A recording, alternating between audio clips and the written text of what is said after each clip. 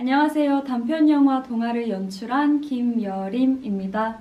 동화는 겨울처럼 꽁꽁 얼어붙어 있던 소년 동화가 봄처럼 따뜻하고 다정한 연우를 만나게 되면서 성장을 이루어가게 되는 이야기입니다. 그러면 저에게 남겨주신 질문들을 직접 보면서 답변하는 시간을 가져보도록 하겠습니다. 동화라는 이야기를 기획하게 된 계기는 무엇인가요? 어, 일단 계기는 크게 두 가지로 나뉘는데 뭔가 변하지 않는 것과 변하는 것에 대해서 생각은 되게 오랫동안 가지고 있었어요. 그러다가 이제 저희 2호선 예술가들이 땅거미라는 여름 영화 촬영을 마치고 MT를 가졌었는데 그때 이제 MT에서 변하는 것, 영원에 대한 이야기가 나왔었어요. 그러면서 팀원들과도 그런 주제로 이야기를 나눴고 그 사이에 저도 제 이야기를 말하고 친, 예, 팀원들의 이야기를 들으면서 아 이번에는 이거에 관한 시나리오를 한번 써볼까 해서 이번에 쓰게 된 것 같습니다. 동화, 연우 등장인물들의 이름을 짓게 된 과정은 무엇인가요? 어, 일단은 은연 중에 뭔가 주고 시작하는 걸 좋아해요, 답을. 뭐, 관객들이 굳이 캐치하지 못한다고 하더라도. 그래서 이름의 인물에 대한 정보를 많이 담고 싶었다는 마음이 컸고, 그래서 등장인물들의 성격이 어느 정도 구체화된 뒤에는 네이버 한자 사전을 전전하면서 이제 이름을 찾게 되었는데, 그때 뭐 이름에 자음 모음의 생김새라거나 아니면은 이름을 불렀을 때의 어감 이런 것도 조금 많이 신경을 썼었어요. 그래서 어, 동화는 동경할 통에 어리석을 통 이게 마음이 정해지지 않다라는 뜻도 가지고 있고요. 흰빛 아라는 한자를 사용해서 동화가 되었고 연우는 그럴 연, 불탈 연 이거는 명백하다, 분명하다라는 뜻을 가지고 있고 우는 위로할 우, 따뜻하다, 따뜻하게 하다라는 뜻을 가지고 있습니다. 그래서 이제 동화와 연우는 이름에서도 좀 둘의 성격 차이가 확연하게 드러난다고 생각해 주시면 될 것 같아요. 동화는 그 이외에도 뭐 영어 제목에서도 그렇듯이 겨울 아이라거나 동화줄로 사용을 할 수 있어서 그 부분도 마음에 들었고요. 요즘에 일상생활 하면서 뭐 건물이라거나 이럴, 이런 데 동화를 많이 마주칠 수 있어서 괜히 반가워서 잘 지은 것 같습니다. 동화를 만들 때 참고한 영화나 책, 노래 등 창작물이 있다면 음, 창작물에서 크게 영화 자체에 영향을 준 거는 없는 것 같은데 대신 앞서 말씀드렸던 이름을 찾는 과정에서 조금 시나리오 디벨롭하는 과정에 도움이 되었어요. 동화를 겨울로 잡은 것처럼 얼음으로 잡은 것처럼 어, 연우는 그러면 봄과 불로 한번 잡아볼까 이렇게 생각하는 계기가 되었고 어, 불로 인해서 얼음이 녹아가는 과정이라는 게 너무 좋았고 이후에 그거를 좀 더 가시적으로 영화에서 나타내보면 어떨까 해서 라이터라는 소재와 방화라는 소재를 시나리오에 넣었던 것 같습니다. 동화에서 가장 좋아하는 장면은 아, 정말 어려운 질문인데요. 사실 좋아하지 않는 장면이 없는 것 같아요. 너무나 저랑 뭐 팀원들 그리고 배우분들의 손길이 닿지 않은 장면이 없어서 모든 컷 하나하나가 너무 소중한데 그래도 굳이 하나 꼽아보자면 요즘에는 그 연우가 이제 동아의 집에 불을 지르고 나서 담벼락 앞에서 그 집을 바라보는 장면이 있어요. 이제 연우가 이 동화라는 영화 내에서 그 바스트샷 정면 바스트샷이 크게 두 번 잡히는데 내 이름은 연우야 송연우 그 장면이랑 그 불을 바라보는 장면이 구도가 비슷한데 분위기가 엄청 다르고 배우님도 너무 그 표정 연기를 잘해 주셔서 그 장면을 요즘에는 가장 좋아하는 것 같습니다. 동화와 감독님은 닮아 있나요?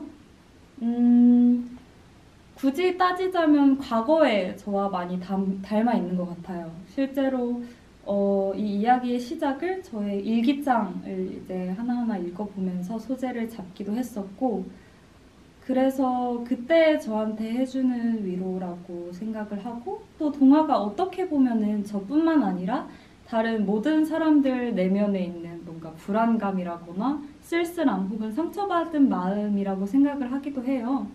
그래서 이제 미래 혹은 현재의 그런 마음도 이 영화를 통해 위로할 수 있지 않을까 하는 마음을 담고 있습니다.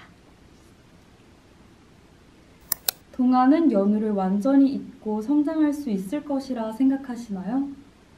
동화는 연우를 기억한 채로 성장할 것입니다. 네. 어, 그리고 만약에 시간이 흘러서 연우에 대한 기억이나 이런 게 바래진다 하더라도 변화하는 것이 틀리지 않다라는 깨달음을 통해서 연우를 또 영원히 기억할 것 같습니다. 음, 동아와 연우역 오디션이 굉장히 치열했다고 들었는데 여림 감독님은 어떤 매력으로 지금의 배우들에게 동아와 연우의 역할을 맡기게 되었나요? 어, 일단 behind를 정말 하나 풀자면 그 동아 배우분들의 오디션이 gender free 오디션으로 열렸어요. 그 이유는 정말 이 캐릭터를 혹은 이 캐릭터의 감정을 잘 표현할 수 있는 배우를 찾고 싶다는 게 첫 번째였고 그리고 동화와 연우의 관계성이 굉장히 중요하기 때문에 그 개인의 역량도 굉장히 중요하지만 둘의 뭔가 케미 같은 걸 잘 보고 싶어가지고 젠더 프리로 진행을 하게 되었는데 이제 동화 같은 경우는 저희 안현우 배우님이 유일하게 남자 지원자였어요. 실제로 면접을 진행한. 어, 가끔 오디션 behind 썰 보면 그런 거 있잖아요. 그 배역이 오디션장으로 걸어오는 줄 알았다. 그 안현우 배우님이랑 황우주 배우님께서 오디션장에 들어섰을 때는 저희 팀원들도 이제 나중에 완전 그 연우라고 완전 동아라고 이렇게 반응했던 기억이 있어서 정말 어떻게 보면 동아랑 연우가 저희한테 와줬다 이렇게 표현할 수 있을 것 같습니다. 네. 영화의 미술적으로 여린 감독님이 가장 신경 썼던 부분은 무엇인가요? 가장 먼저 소품에 대해서 말씀을 드리자면 가장 그 시놉시스 단계부터 중요하게 생각했던 건 저희 송이 고양이인데 아무래도 저희가 어, 독립 영화이기도 하고 고양이를 실제로 구하기도 어려웠고요. 그 동물학대 이런 부분에서도 우려가 돼서 그 제작을 어떻게 할 것인지는 신업 단계부터 제가 굉장히 구체적으로 생각을 해두기는 했어요. 그래서 어떤 재질에 어떻게 제작을 할 건지 이런 걸 생각을 해뒀는데 저희 수경 감독님께서 정말 굉장히 멋있는 금손으로 저희 송이를 잘 탄생시켜 주셔서 그거는 지금까지도 너무 감사하게 생각하고 있습니다.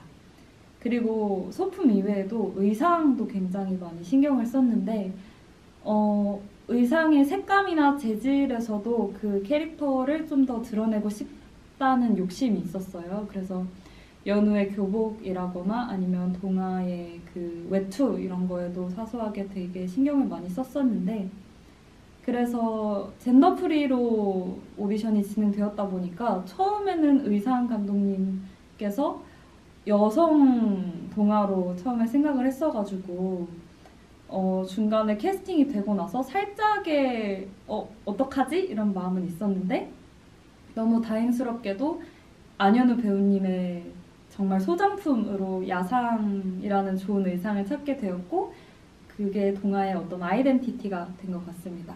그리고 연우의 교복 같은 경우에도 자켓이 완전 뻣뻣하거나 까슬한 재질이 아니라 좀 부드럽고 따뜻한 느낌이었으면 좋겠어서 교복점을 돌아다니면서 이제 직접 재질을 보고 만져보고 채택을 했던 기억이 있습니다.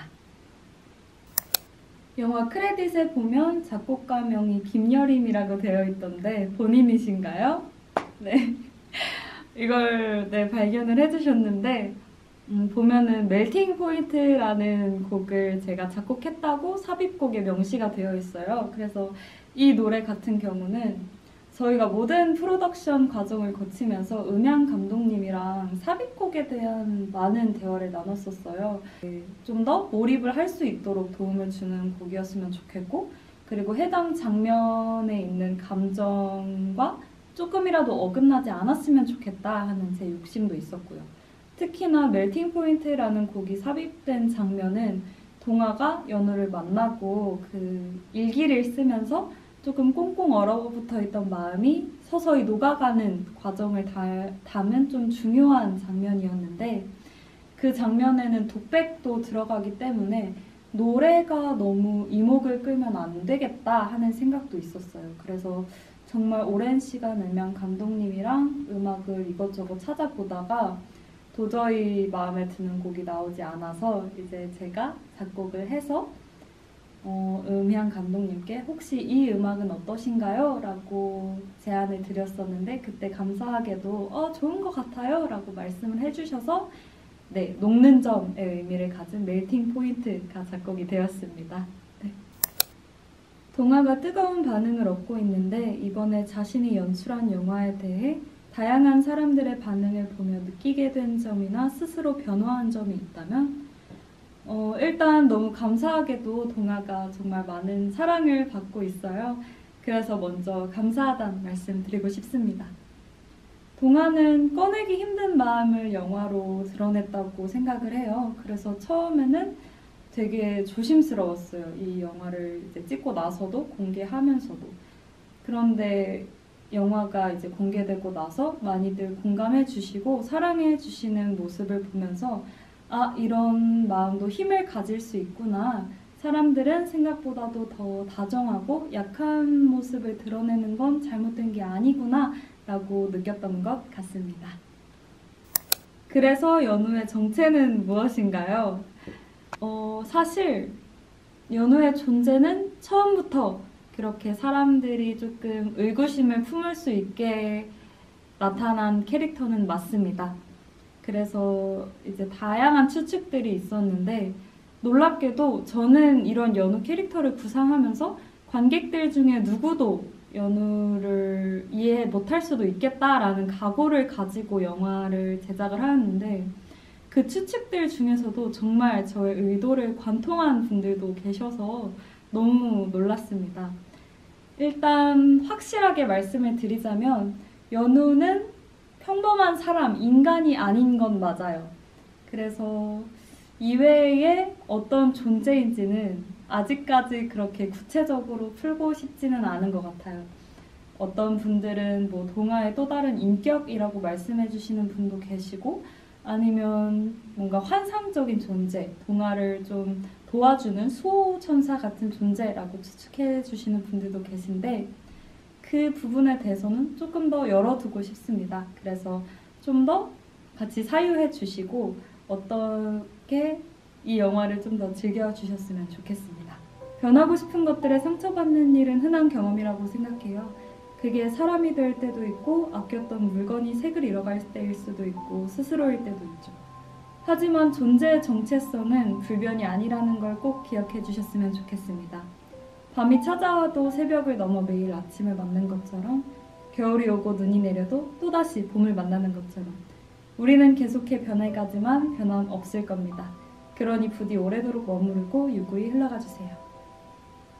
지금껏 그래왔듯이 늘 사유하시고 늘 다정하세요. 저 역시 노력하겠습니다. 감사합니다.